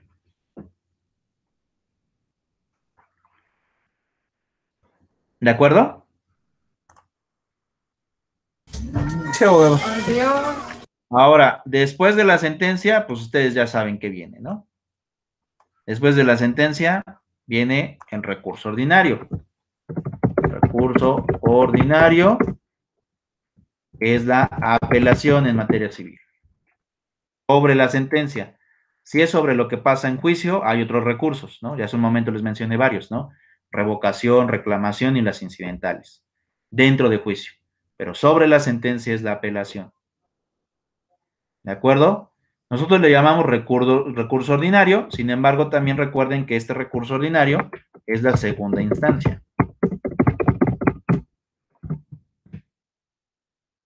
Apelación.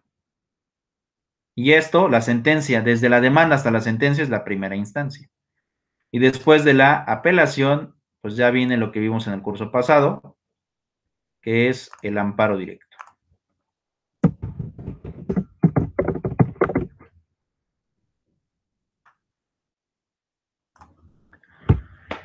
Y en pocas palabras, ese es todo el procedimiento en materia civil. Sí, Lick, interesante. Muy interesante. Entonces, si se dan cuenta, ¿qué es lo que pasa? Normalmente cuando vamos a nuestras materias este, de teoría del proceso y eso, nos definen rápido el procedimiento. ¿Qué es el procedimiento? Pues demanda, contestación, pruebas, alegatos y sentencia. ¿De acuerdo? Es lo que normalmente nos dicen. Ah, pues demanda, contestación, alegatos y sentencia. Pruebas, alegatos y sentencia. Ese es nuestro juicio, nuestro procedimiento, sí. Pero para poder hacer todo esto, ya hice todo el mapa. O sea, no es tan sencillo en realidad como, ah, contestación, este, digo, demanda, contestación, pruebas, alegatos y sentencia. Ya, rápido, ese es el procedimiento. Date cuenta todo lo que lleva. Sí, es cierto, profe, es cierto. ¿De acuerdo? Sí, profe. ¿Dudas, preguntas?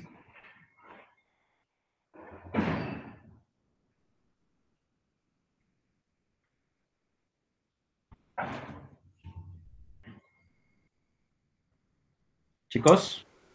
Pues todo bien, yo creo que solamente a la hora de la práctica es donde debemos acordarnos de todo. Obviamente esto que les estoy desglosando no lo van a ver hasta la práctica, ¿no? Porque al final de cuentas, de manera, normalmente, eh, yo estoy muy en contra de eso, pero normalmente cuando, cuando enseñamos derecho, la mayoría de, docentes, eh, yo lo he visto en otras instituciones, en otras, este, la mayoría te dicen, cuando explican algo, nada más dicen, ah, pues es demanda, contestación, pruebas, alegatos y sentencias, ese es el procedimiento. Sí, pero nunca te hacen el desglose de todo lo que implica todo eso.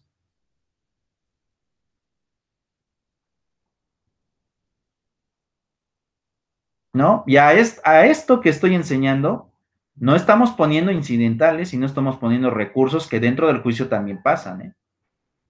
que eso también abriría otros expedientillos y otra vez vas a un mini juicio dentro de un juicio principal.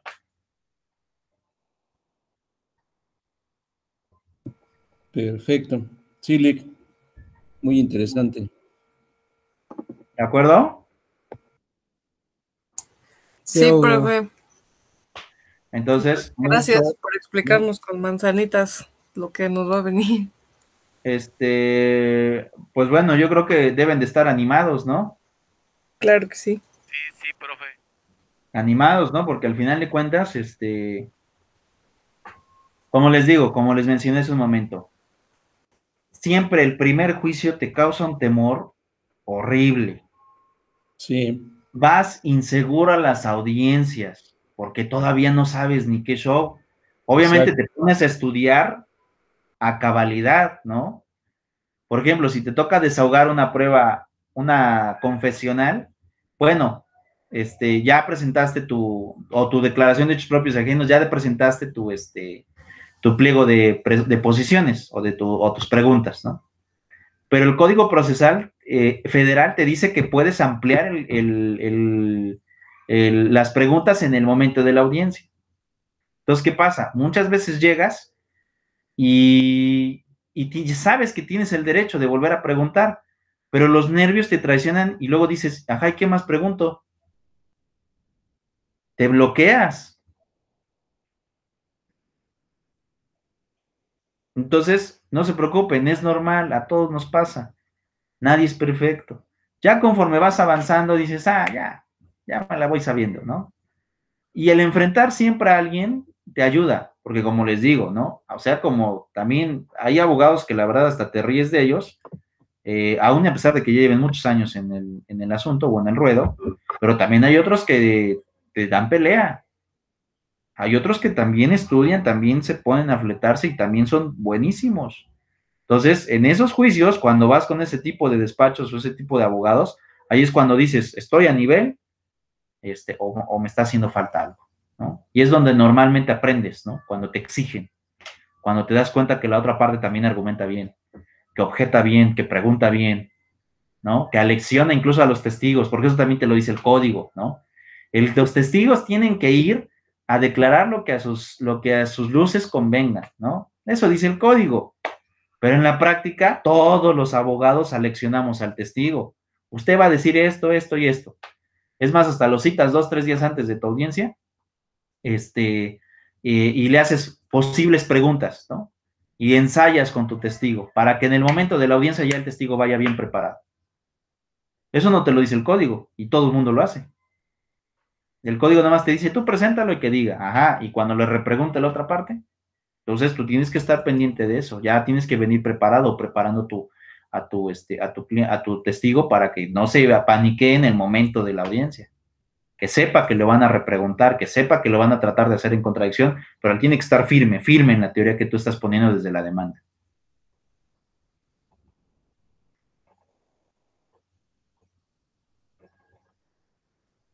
¿De acuerdo?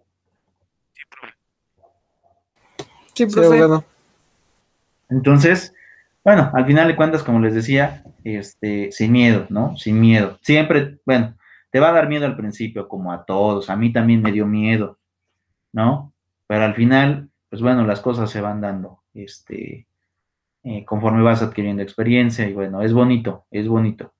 Hay gente que no le gusta, también es válido. Hay mucha gente que prefiere mejor dedicarse a otra rama del derecho, ¿no? Muchos son catedráticos, muchos, bueno, por ejemplo, en mi caso yo combino, ¿no? La cátedra con la práctica. Hay otros que les gusta estar escribiendo y se van a la investigación, otros se van a hacer funcionarios públicos, vamos, hay muchas cosas en que las puedes hacer. Pero en, el, en mi caso, por ejemplo, en mi caso, este, yo soy, el litigio te, te obliga no es que quieras estudiar mucho, sino que el litigio te obliga, porque como, como los otros abogados también te van a estar peleando, te obliga a estar estudiando constantemente. Ahí es como que por obligación lo haces, porque si no lo haces voluntariamente, el otro te va a exigir, ¿no? Entonces, es constante. Ya cuando eres funcionario, pues a lo mejor está más fácil, ¿no? Aunque también tienes riesgos, llegas a hacer algo mal y te pueden andar denunciando. Entonces, son muchas cosas, muchas cosas que se van dando conforme vas yéndote en la práctica. Bueno, entonces, este, ¿puedo borrar esto, chicos? Sí, Lick, ya está, ya lo pasamos. Sí, profe. gracias. Ahora, voy a abrir un documento de Word para explicarles el tema de lo que nos quedamos la clase pasada en la demanda, ¿no? Pero bueno, ¿por qué les quise enseñar ahorita el esquema de un procedimiento ordinario? Porque quiero que ustedes se vayan situando en qué parte del procedimiento estamos, ¿de acuerdo? Para que ustedes también pues ajá, digan, ajá, ya ves, ya sé hacer el escrito, ¿y eso dónde va? En el procedimiento, en un juicio, ajá, pues ya tienes el esquema, ¿de acuerdo? Ese es el esquema ordinario, por, yo les decía, dependiendo del tipo de procedimiento, puede, algunas cosas se juntan, o otras cosas se quitan.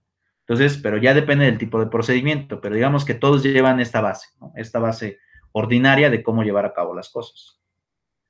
Pero bueno, ahorita que abra el, este, el documento de Word. Bueno, ahora sí, menciónenme, chicos, en el capítulo de la demanda, ¿en qué parte nos quedamos? En la de hechos. Hechos, ¿no? Y vamos a redactar una demanda de hechos, ¿de acuerdo? Sí. ¿O, ya redactamos algunos capítulos o no? Sí, hasta el punto 4. ¿Qué decía el 4? A ver, dime el primero, el segundo y el tercero. Sí, dice el día 12 de enero del, primero, día 12 de enero del 2020, Ernesto Lázaro Rodríguez celebró el contrato de arrendamiento con Lady Perrusquía Pimentel respecto del inmueble ubicado en Boulevard 2 Poniente, esquina 2 Oriente, número 1, centro de Puebla. Número 2, dentro del contrato se especifica que tendrá una vigencia de 12 meses. Número 3, la fecha en que la arrendadora podía ocupar el inmueble se acordó desde el día de la firma del contrato que hoy se pretende que hoy se pretende. Número cuatro y último, Lady Esmeralda ocupa el inmueble físicamente a partir del día 13 de enero del 2020. Ah, no, y está el 5. Punto 5. Lady Esmeralda cumplió con los pagos, pensiones rentísticas de manera normal hasta el mes de mayo. Hasta el mes de mayo, ok. Ahí póngale, voy a completar, mejor se lo dicto y me voy sobre lo demás. Incumpliendo, ¿no? Incumpliendo a partir del mes de junio hasta la finalización del tiempo que se pactó en el contrato de arrendamiento.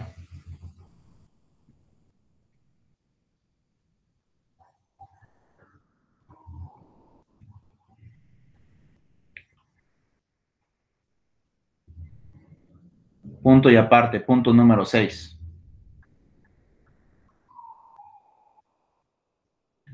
Es decir, Leslie Esmeralda debe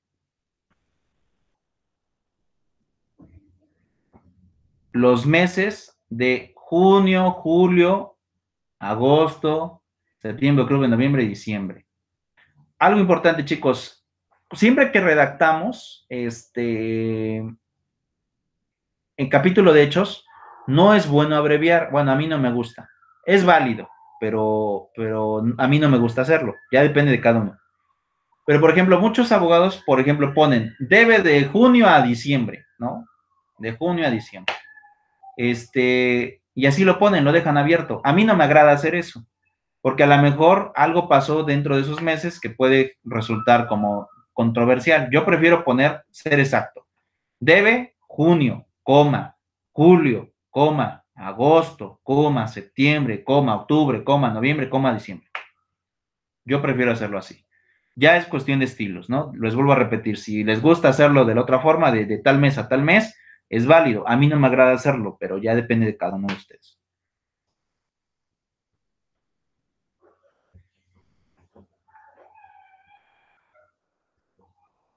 ¿Ya quedó? Ok, perfecto. Sí, ya está bien. Coma, ya después de diciembre, coma, lo cual demuestra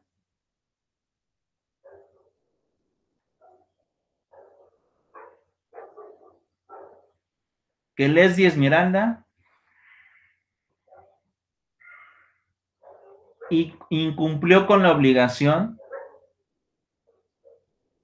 a la que voluntariamente se obligó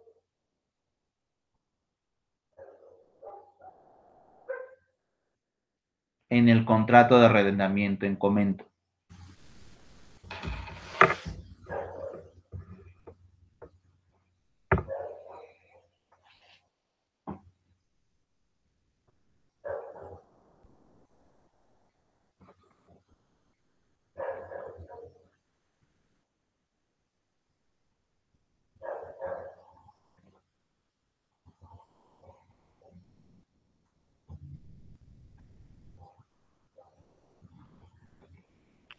Listo, profe.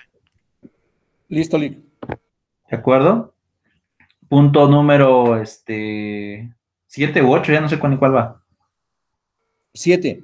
Ok, 7. Digo, para ahorrarme el capítulo de hechos y ya para irme sobre los demás, ¿no? De acuerdo. Este. 7. este. Ante tal incumplimiento,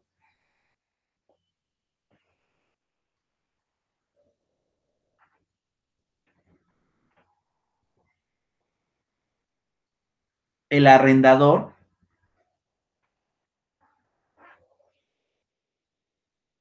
hoy actor, ¿no? Porque obviamente es el que está promoviendo. El arrendador, hoy actor, le ha requerido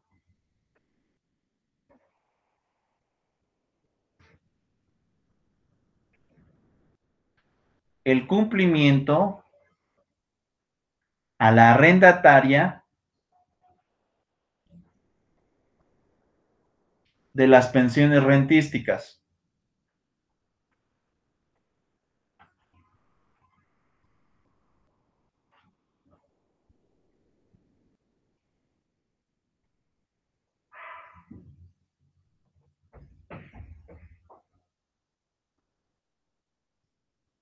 sin tener éxito alguno.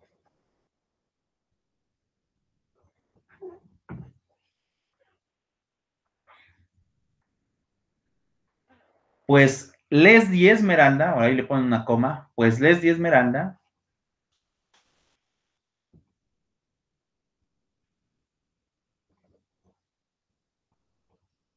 Me ha manifestado en múltiples ocasiones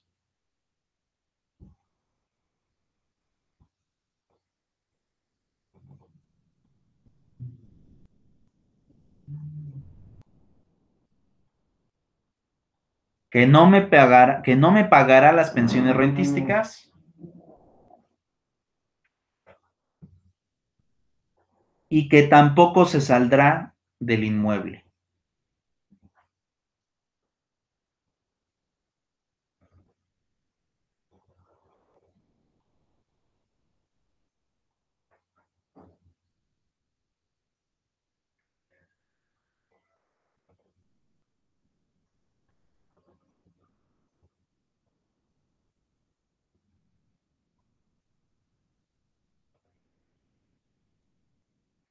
Punto y otro, otro capítulo de hechos.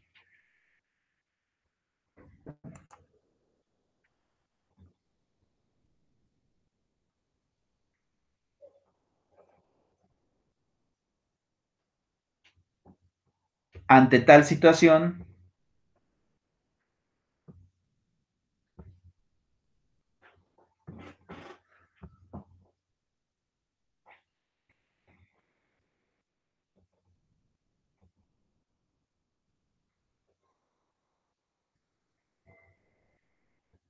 me presento a este juzgado.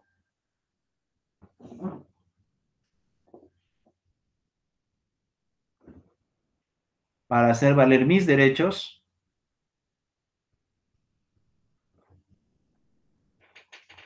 exigiendo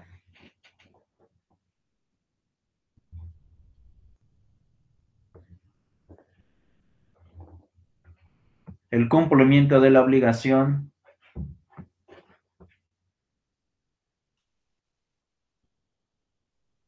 por parte de Leslie Esmeralda Perrusquia Pimentel.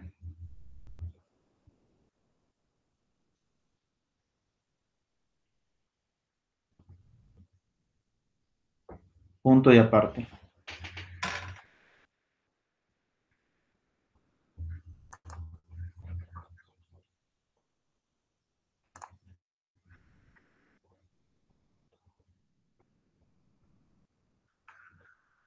¿De acuerdo? Sí, Lick, ya estamos listos. oigan, este, ¿quién se salió? ¿Liliana se salió? Sí, creo que fue Lili.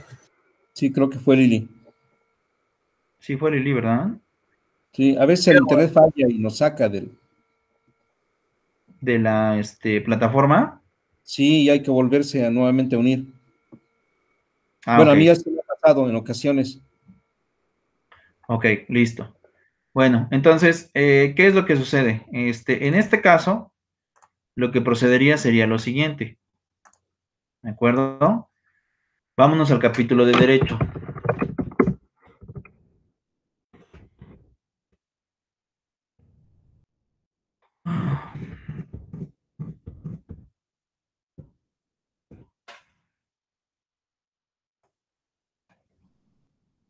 Igual lo ponemos al centro y lo ponemos en ¿de acuerdo? Yo les había dicho que en este capítulo normalmente ponemos cuatro supuestos, rápido, ¿de acuerdo? Por ejemplo, normalmente ponemos los siguientes. En el capítulo de derecho tenemos que hacer valer los presupuestos procesales, ¿de acuerdo? Por ejemplo, normalmente ponemos estos, ¿no? Yo, por ejemplo, eh, lo primero que pongo siempre es la legitimación. ¿No? La digitación se acredita con fundamento en, y ya, ponemos los, los capítulos de fundamentos. Dos. Lo otro que también pongo es la personalidad. Se acredita con fundamento, ya ponemos los artículos que en este caso el código me diga sobre la personalidad. Después pongo la competencia del juez. ¿Es usted competente? Por los artículos, ya ponemos los artículos de la competencia. Después ponemos, ¿de acuerdo? El procedimiento se regula por, y ahí tienes que poner los artículos del procedimiento que estaremos intentando si es un especial, si es un privilegiado, si es un ordinario o si es un oral sumarísimo. ¿De acuerdo? Y al final ponemos el fondo del asunto. Es decir, el fondo del asunto significa cuál es el fundamento legal por el cual yo le voy a pedir que resuelva la sentencia.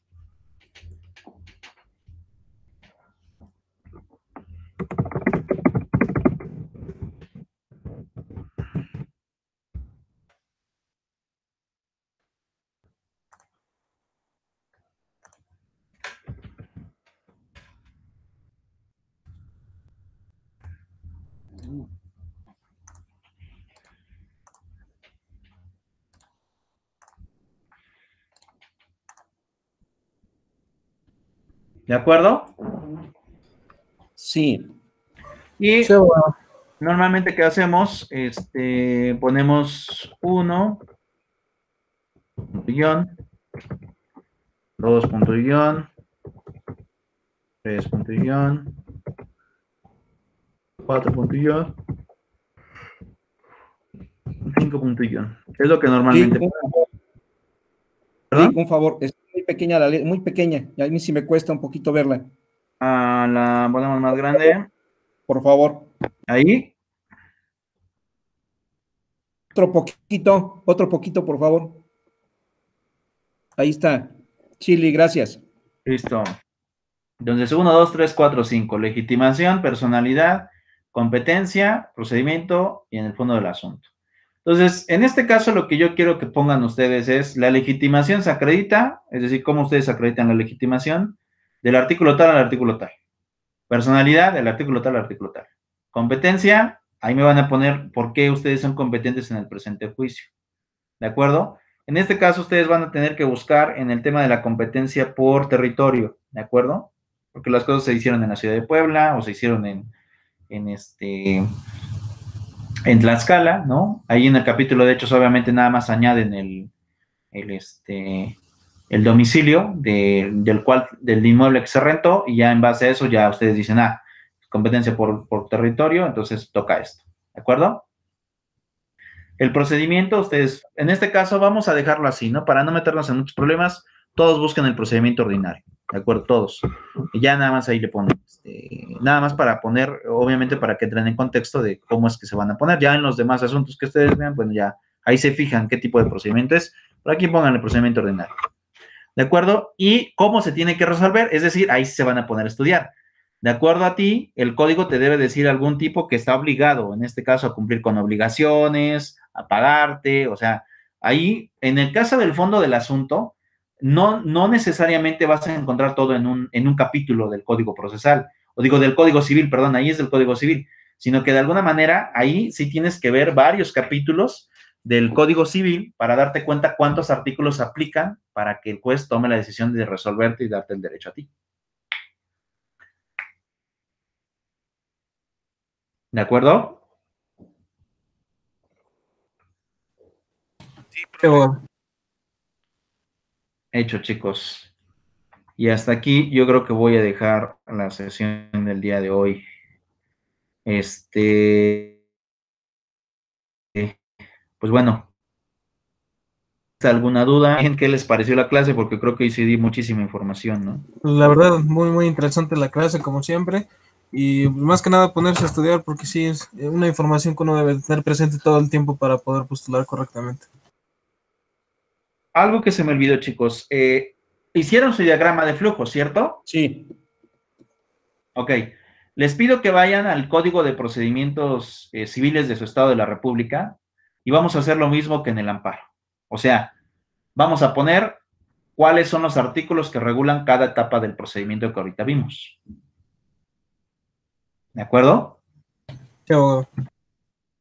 Entonces, por ejemplo, demanda, autoadmisorio, este, emplazamientos, contestación, reconvención, ahí van poniendo los artículos en su mapa, en su diagrama de flujo, pónganle los artículos, para que ustedes sepan al momento de que vayan a estudiar, ya tengan ahí eh, con exactitud eh, a dónde vas a ir a estudiar, con exactitud en qué capítulo, en qué, este, o qué artículos con exactitud son, es donde ya vienen escribiendo, ¿no? Y eso te ayuda mucho porque lo ves diagramado y aparte en la ley ya sabes dónde estar buscando. ¿De acuerdo? Bien, Lick. Está bien. Sí, profe. ¿Sí? ¿Dudas, preguntas, chicos? Pues ahorita no. Solamente estudiarlo. En la práctica. Hilario. Todo bien. ¿Todo bien? ¿Seguros? Sí, profe. Abogado, solo Bien, les voy a presumir mi taza que me acaban de dar apenas, este, de la universidad. Entonces, eh, viene personalizada. Perfecto. Un bonito detalle, pero bueno. Qué bueno. Para que Está bonita, está bonita. Muy bien. En la misma sintonía. Pues bueno, chicos, si no hay más, este, agradezco siempre su participación. Siempre me gusta mucho darles clase. Sé que son un grupo que estudia muchísimo. Este, y me da muchísimo gusto este, el estarlos retomando. Entonces, este, pues bueno, ya llevan varias tareas para esta semana. Este, y este, y pues bueno, chicos, este, como dirían, les deseo una bonita semana, tienen mucha tarea, pero este, pues bueno, al final de cuentas, todo sea por aprender, ¿de acuerdo? Así sea, gracias. Igualmente. Cuídense. Luego, abogado. Cuídese. Cuídense. Un abrazo a todos.